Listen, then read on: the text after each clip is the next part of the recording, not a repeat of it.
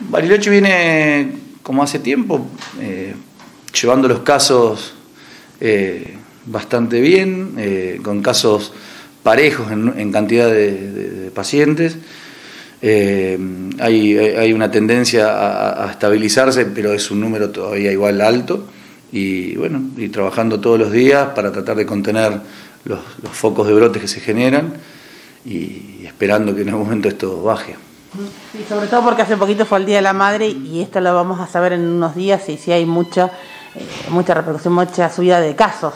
Sí, uno teme por, esta, por estos días porque uno tiende a, juntarse o a, ver a su familia y uno obviamente le preocupa, pero ya no es solamente un Día de la Madre, sino que la gente está tratando de recobrar la, normalidad, entre comillas, de la vida y bueno, como todos decimos siempre, que hay que hacerlo con todos los, los cuidados para no generar contagios. Eh, pero bueno, nada, es una línea muy delgada en que uno se puede ir para un lado o para el otro. Mm. Doctor, y hablando de todo esto, ¿cómo está San Carlos de Bariloche en disponibilidad de camas?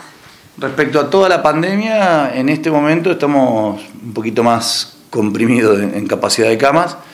Eh, desde hace unos cuatro días aproximadamente la ocupación en las camas de terapia intensiva y unidad de cuidados intermedios y, camas frías, lo que le decimos para, pacientes COVID, eh, está con una alta tasa de ocupación. Así que igual tenemos todavía capacidad de respuesta, pero bueno, lógicamente empezamos a, a, prender las luces en cuanto a alertas. ¿no?